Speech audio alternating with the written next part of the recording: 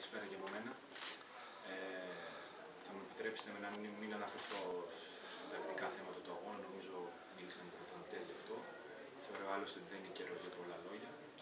Το μόνο που μπορώ να υποσχεθώ από την πλευρά των ποδοσφαιριστών είναι να μην σκύψουμε κεφάλι, ε, να κάνουμε βέβαια την αυτοκριτική μας, να δούμε τα λάθη μας. Έρχεται ένα δύσκολο πρόγραμμα με δύο εκτός έδρε παιχνίδια, να μπορέσουμε να πάρουμε κάποιους βαθμούς και να αισθανθούμε λίγο αυτή την ασφάλεια της παραμονής και από εκεί και πέρα να τελειώσει η χρονιά καλύτερα. Πάρει κάποια ερώτηση; Μόνο μία, μόνο μία ερώτηση. Μήπως αυτό η απόσταση από την ε, ομάδα, την πρώτη ομάδα που είναι στις θέσεις υποβιβασμού, η διαφορά αυτής της βαθμολογίας μήπως έχει χαλαρώσει από τους παίκτες του Παναγιάλιου. Με την ε, προπόθεση ότι ξέραμε ότι είχαμε και το άκοπο τρίποδο, έτσι που πήραμε, που πήγαμε 33. Μήπως αυτό τελικά έχει κάνει κακό στην ομάδα; Όχι, δεν θα το έλεγα αυτό. Δεν νομίζω είμαστε, όπως είπε και ο προπονητής μου, δεν έχουμε τύχει στα τελευταία παιχνίδια. Είμαστε σε ένα κακό φεγγάρι, θα έλεγα εγώ.